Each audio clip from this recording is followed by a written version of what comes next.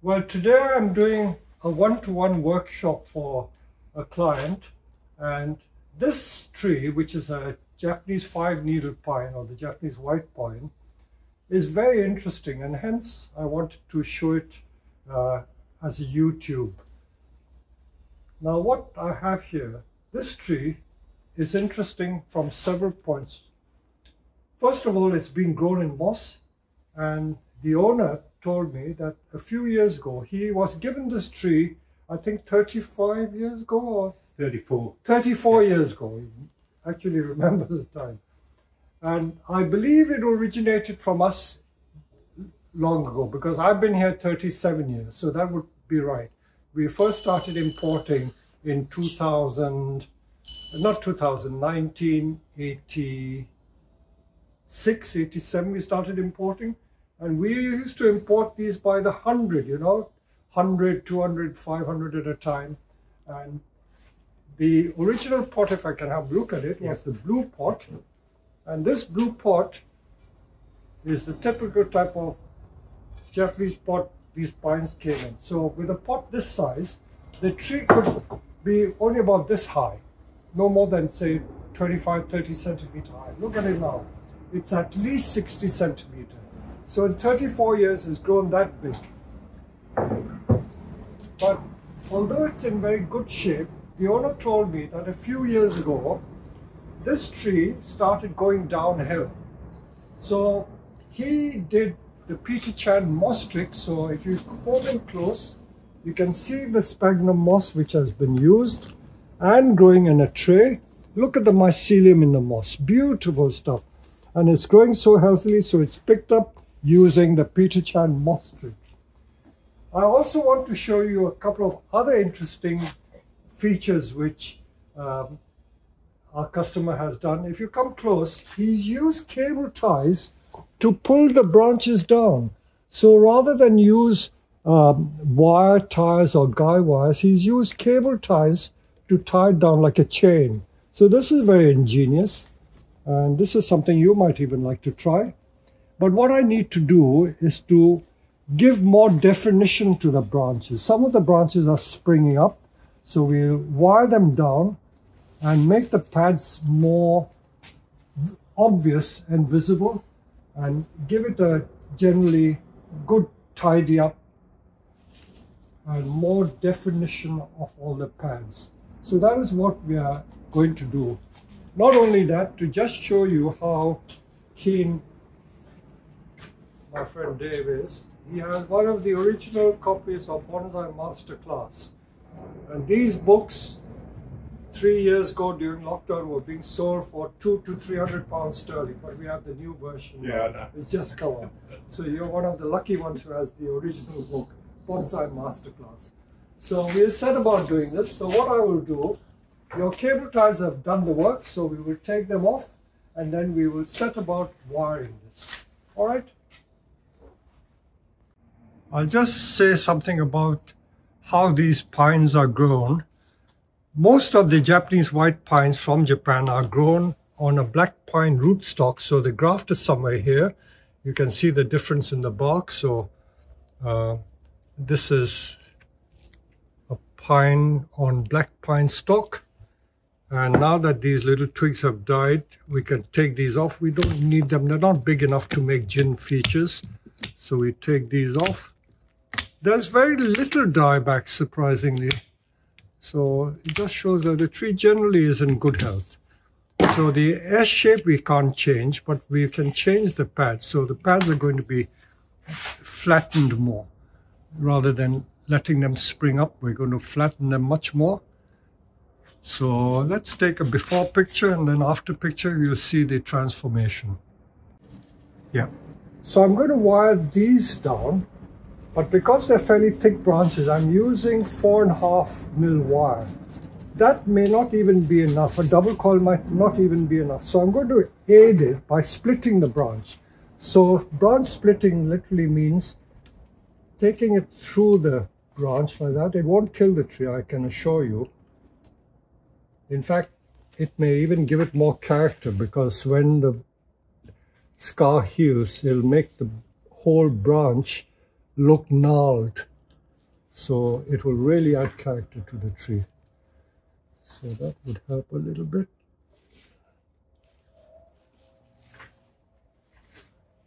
And this bit over here.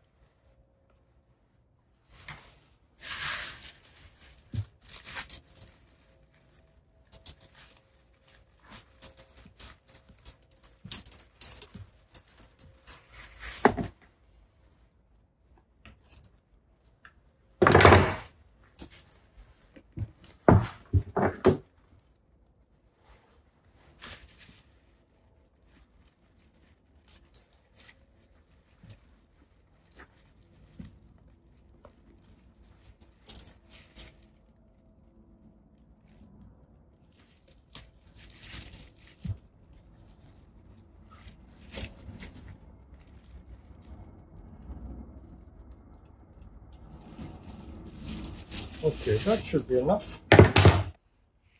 We've got so far, we've put a double coil of 4 millimeter wire to give these pads more definition.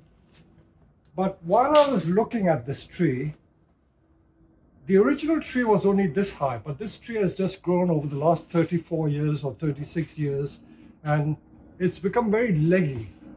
I'm not entirely happy with it. You know, if I wanted to make a literati, I would cut everything out. I'd just keep the top and make a literati. The movement here is very nice. And if you come close to look at this feature here, that like a little shari there is very interesting. So there's a lot of movement here. So this is interesting.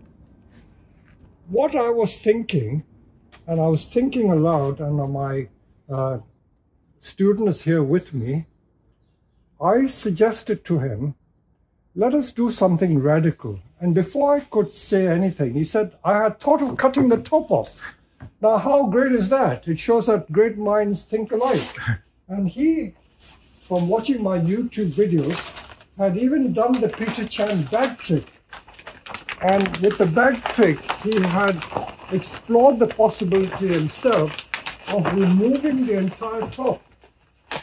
Let me show it to you.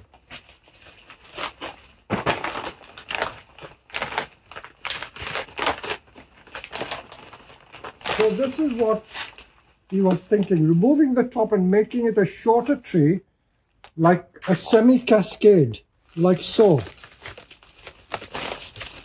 So you can imagine the top disappear and we can tilt it like this and then bring this thing back. So we get a more compact tree without this leggy bit.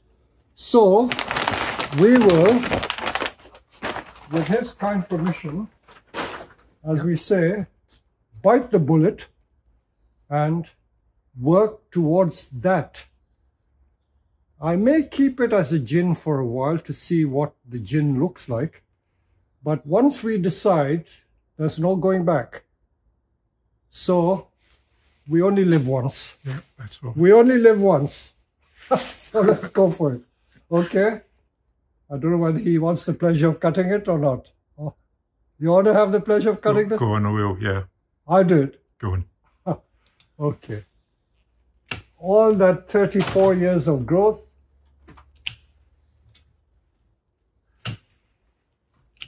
There you go. There's no going back. We've reduced the height of the tree. I can see your heart jumping, palpitating. and we're going to make this a dense tree. And it's going to be like that. I think you won't regret it. Because if you had thought of doing it, but didn't have the courage to do it, we will proceed to do it. So the next stage is going to create a head, and then we will see where it goes from there. All right? So I'll just show you where we've got to. We keep wiring, just, we're just wiring the pads. So the pads are flat.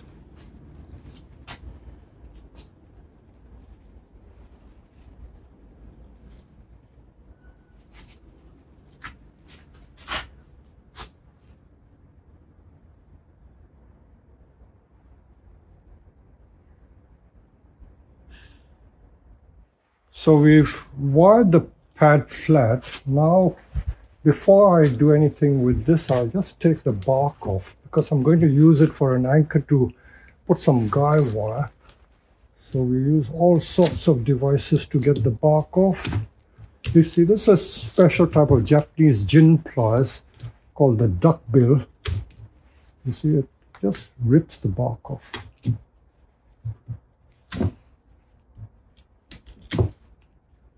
You can use all sorts of tools, pliers, or whatever.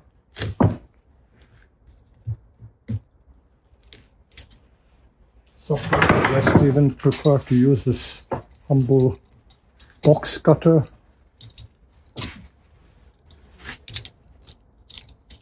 When the bark is live, it comes off very easily.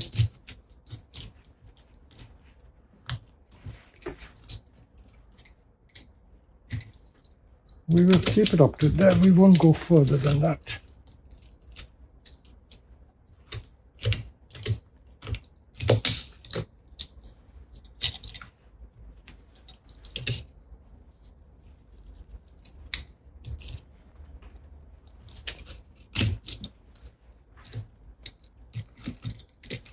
The ultimate length of this jin we will decide at a later stage.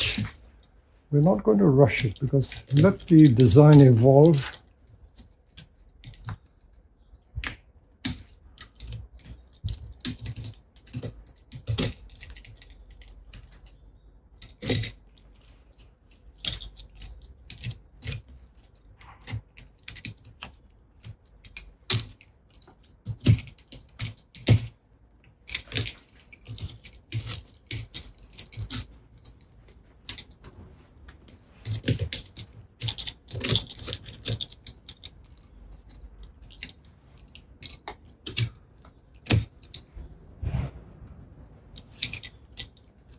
And then you can use all sorts of Dremels and other carving tools to refine it.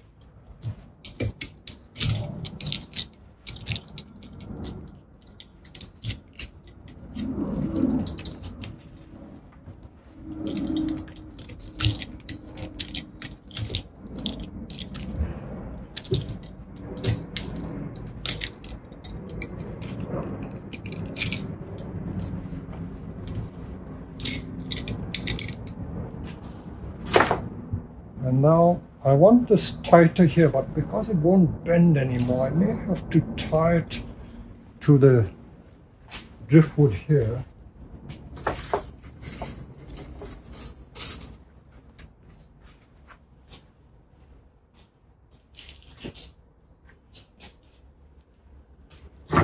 Just forming on the detail, you can see the wiring.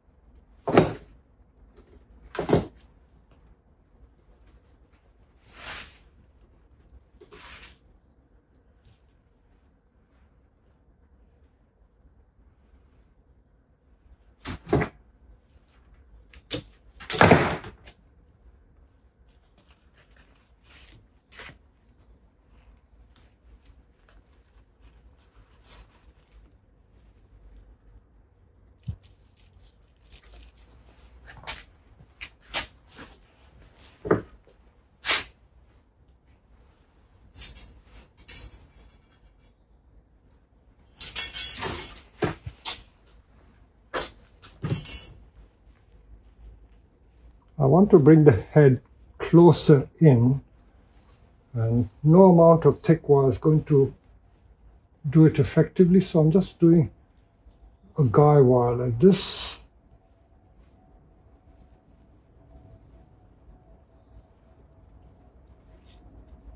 And hopefully this will have brought it in much tighter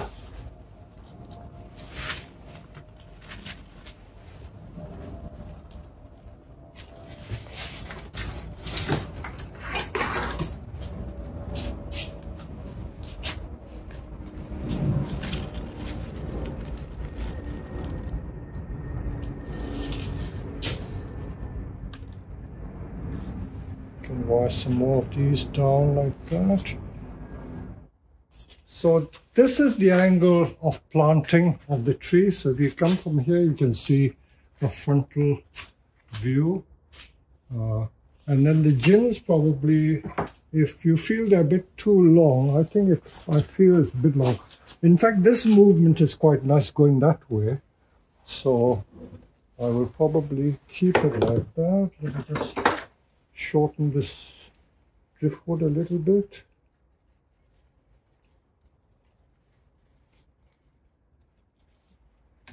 Also the top jins could also be shortened a bit.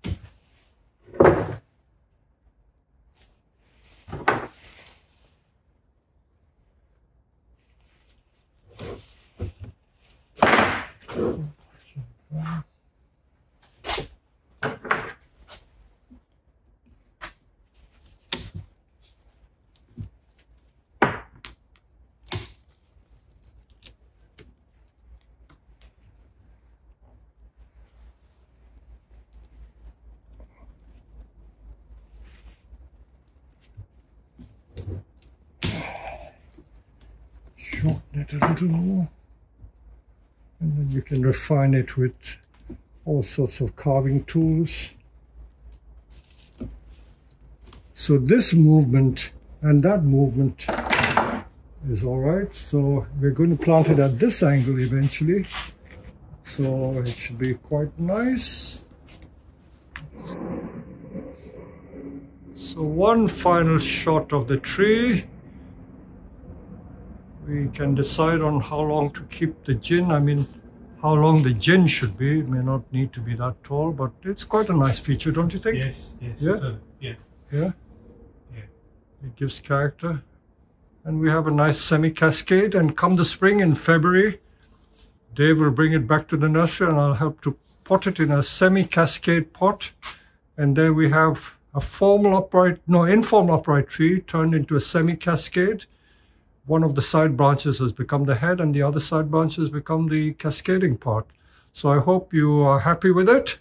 and uh, thank you for letting me video this because this has been a very exciting project. So the jins have to be refined. So that's another one-to-one -one class for my client here. So we've had a lovely time.